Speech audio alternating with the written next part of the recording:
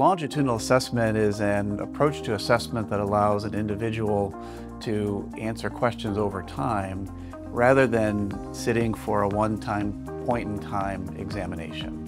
The formative function of longitudinal assessment allows you to answer questions and to learn from how you're performing.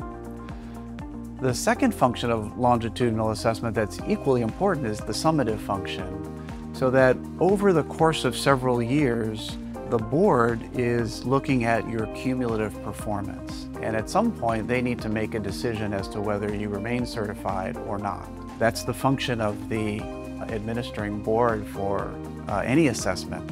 But you have the benefit of getting regular feedback as an individual, whether you're tracking towards passing or not passing. And so you have a chance to modify and change how you're approaching the assessment.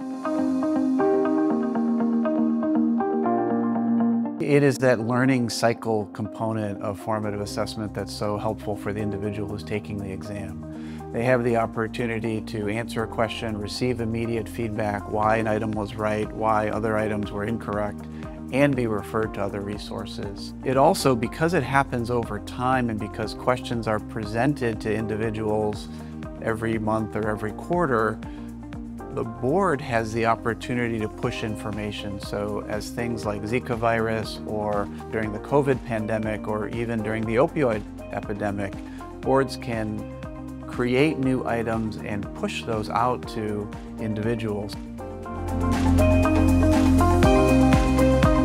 It is intended to be flexible for the individual answering the items. So uh, rather than a point-in-time assessment where you need to go to a testing center, take time off from work or your practice, uh, you might need to travel to a testing center.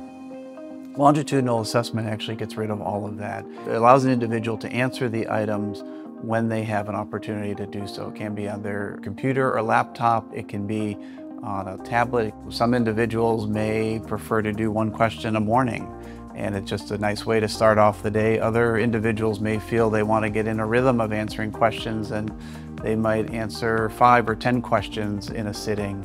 And others may set aside several hours and say, you know, I'm going to sit and I'm going to go through all of my questions for this month or this quarter.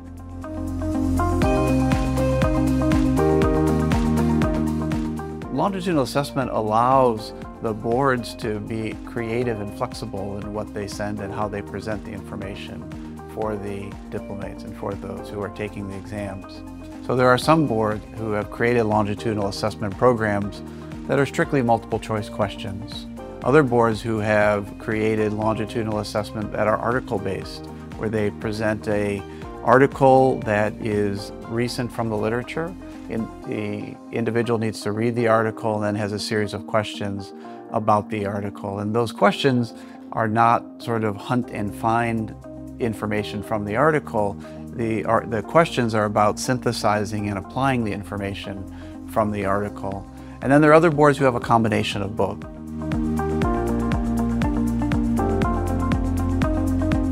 The feedback has been overwhelmingly positive.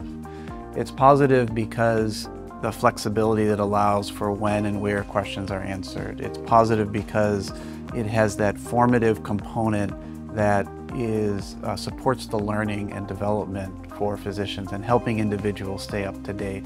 It is also positive because um, with point-in-time assessments, there is a great deal of anxiety that comes with testing.